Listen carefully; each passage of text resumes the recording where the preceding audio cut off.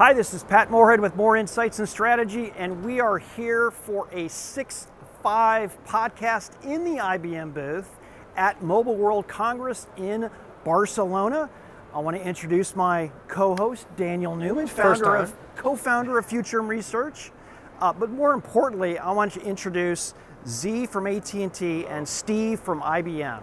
And we're here in the IBM booth, and it's a pleasure to be with you all, and especially AT&T. And we got a special guest today from Boston Dynamics, Spot. He's going to come in and say hello real quick. A little glimpse of the future, which we're going to talk about. All right, Spot, good to have you. See you, Spot. Now that's a cameo. I, I, and I really thought everybody in the booth was here to see us, but I'm pretty sure it's Spot. I don't know, we'll see. But, but we are back at MWC live, not virtual, and it's awesome to be here. Yeah, and I didn't, I didn't expect extra guests. Exactly. But uh, I got to say that I want to interview Spot. Uh, guys? No, I'm just kidding. Zee, Steve, great to have you here. I don't think he talks yet. That'll soon. Trust Yeah. me, that's ha- that's coming. So, Steve, I'll start with I'll start with you, but I'll, we're going to hit you both up. So be Awesome. ready. You know, 5G. Let's let's go at the macro level. Um, big topic. It's been a big topic of mobile world for a long time, but it, a lot of people I think have made this interpretation. It's just about speed, and it's so much more than speed. Talk a little bit about how you're presenting the the bigger picture of 5G. First of all, thanks to AT&T to being with us. Uh, AT&T is a great partner of IBM's. We're doing all kinds of tremendous work together. We'll talk a little bit about that today. But you're right. It's more than just 5G. There's really three things that are happening in the marketplace that are really compelling right now. 5G is emerging.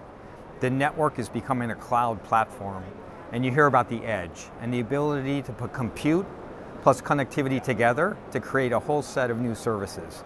We think that's really exciting. It's going to unleash innovation for companies in all industries, and IBM works with those companies along with AT&T, and we want to bring that compute plus connectivity innovation to the marketplace. Now that's great. And so 5G isn't just a faster 4G, and I'm curious from a 4G to 5G transition, how, is it different for you at AT&T? Yeah, no, absolutely. So uh, I want to reciprocate the love. I want to say it is awesome to be here at the IBM booth. It's awesome to be here with you all. The relationship with IBM spans uh, not years, decades. So we're just really proud of this partnership. You know, you're absolutely right, Pat. Um, our discussions with our customers a couple of years ago was all about speed. Um, when we talked to them about 5G, they thought about it in terms of access replacement for their WAN. Uh, instead of a fixed pipe, they were looking for a wireless pipe. I would tell you the discussions right now are extremely different. What we're talking to our clients about are okay, how does 5G and the access to real time information uh, make me uh, drive better decisions in the business because 5G certainly it's it's definitely better speeds, but it's also low latency. Uh, and it's also massive device connectivity. And as Steve said, when you think about the broader capabilities that it brings to you, it's really game changing. Absolutely. Yeah, there's certainly some of the technologies that are already available that's going to make better. And you know, because some people I think have thought, well, 5G is going to unlock this. Well, no, we've done connected vehicles to cloud for a while, but 5G will add potential there. Um, but that actually brings me to my next point. What are you seeing? Because you guys talk, you're you're interfacing with the client, you're in the sales organization.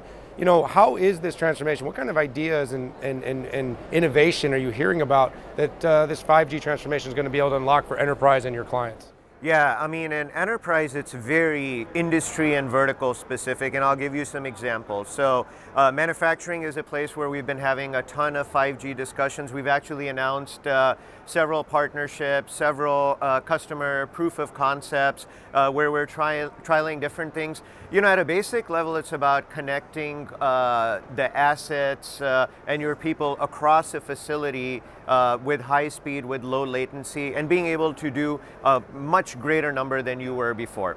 The result of that is that you have access to information in real time, and then if you have the you know right compute on site, you're also able to make really quick decisions. We actually had Spot that came out and said hi to us, um, and that's actually a partnership between Boston Dynamics, IBM, and AT&T. And in order for us to make sure that Spot is productive and is able to go and execute a lot of the use cases, like uh, let's say inventory management, asset tracking, need high speed, need local compute and need to be able to connect a lot of the devices. So that's a great use case where better efficiency, uh, being able to drive much higher productivity.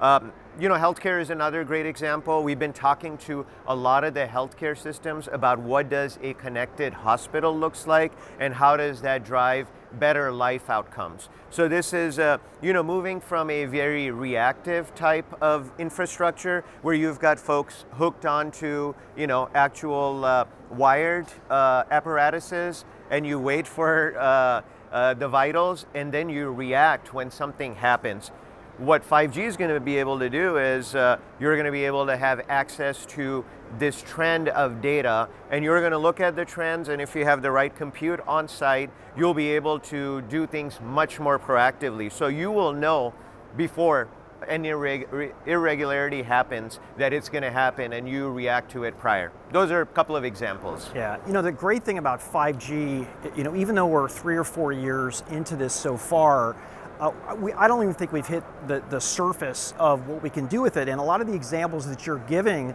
uh, with essentially, hey, you want high speed, low latency, you want low latency, low speeds, or any combination of it, you, you can get that. And it's the first time ever that the network could ever do this. So, uh, Steve, I got to ask you, how does IBM fit into this? And I think more importantly, how does the cloud play a major role in uh, what Zee is talking about here. Yeah, so we've been automating compute with enterprises for decades. Yeah. Now the connectivity is software based.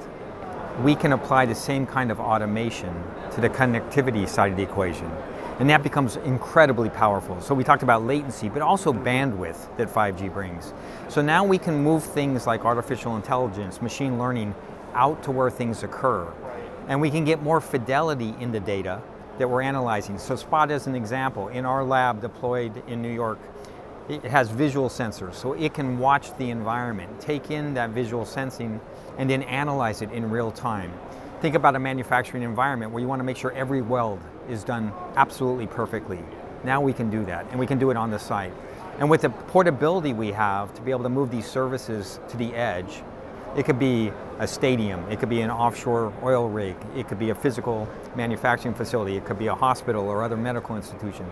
We can place the applications where they need to be placed in order to provide those kind of advanced services. So we think it's a really powerful way to innovate in all industries. Well, first of all, I think it's great that they brought Spot in because it ended up becoming a really nice uh, set of examples of how this all can work. But I actually really did enjoy that you guys got so specific because I sometimes think people are trying to really discern in their mind. Back to the early question: sure. Is it just faster? Is it just right. you know? And it is so much more, especially on these industrial and vertical-based applications. It's going to change our lives. Yeah, and it took a couple releases, right, of 5G to get it to the point where you could support a, a lot of these features that might not have been there at first. So I think you know the more use cases, the more customers that you're enabling, the more people and developers are going to jump on and just start. I, I think they're going to create things that we never quite thought of. Now, I wouldn't have guessed of Spot being enabled uh, by IBM and AT&T, but here, here we are. But, and, and if you think about AT&T with their tremendous relationships at the enterprise scale on connectivity for many, many years, ours in the application environment, it's a natural fit where we can go work with these companies in all different industries and help them get new value for their customers. Absolutely. Well, Zee, Steve, thank you so much for giving us a little time, telling us your story, and making those connections. Because I think you know the market probably wanted to know, hey, what is IBM and AT&T doing? And by the way, this is such a good example of how traditional service providers and telcos and cloud scale can all work together to create really meaningful solutions that connect people into the future. So thank you both, gentlemen, and thanks, thanks everybody for joining us for this 6.5 in the booth.